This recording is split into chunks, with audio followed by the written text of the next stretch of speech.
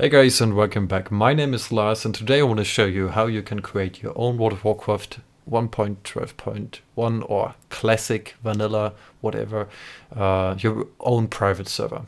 So first of all what you need to do, in the down in the video description you can find a link to download the MaNGOS repack and then you need to extract it. Then you will find a MaNGOS folder in your own preference folder where you extracted it.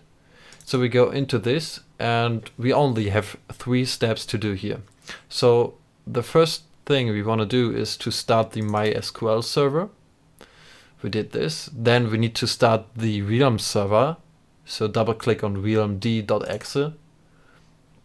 And then we need uh, finally to start the mangos d.exe. This is the server. So the next step is you can find another link down in the video description. There you need to download uh, the World of Warcraft classic folder. So this is different from the Blizzard own classic. Um, the folder and the files in this are more like the the retail, real retail from over 15 years ago. And there you can find um, inside the downloaded folder, you can find the um, realmlist.wtf.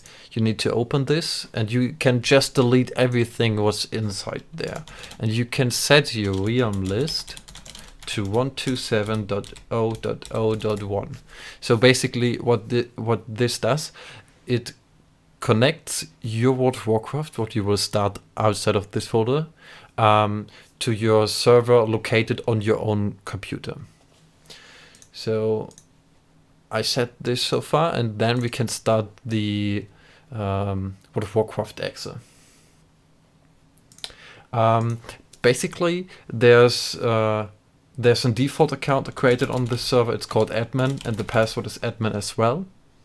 You can also create an extra account on the server but for all those commands, I will link you an, um, a website down in the video description where you can find all the MaNGOS comments you need to create your own account or whatever. But so far, I just want to show you how quickly you can create your own World of Warcraft server. I will quickly go into the game and show you that it's real.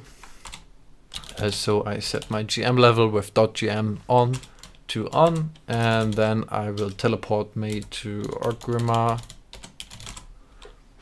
Just quickly do this. Um, yeah, you can basically do whatever fun you want to do. So I increase my speed level to 5. It's 5 times faster than normal.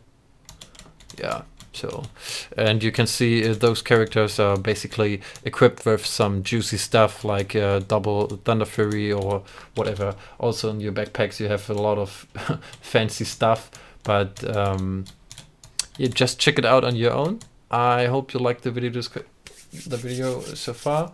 Um, the next video will be coming up soon. There I will describe you how you can connect your um, own private server to a Hamachi network so that you can play with friends or whatever. So far, thank you. If you like this video, give me a thumbs up and subscribe to stay tuned. See ya!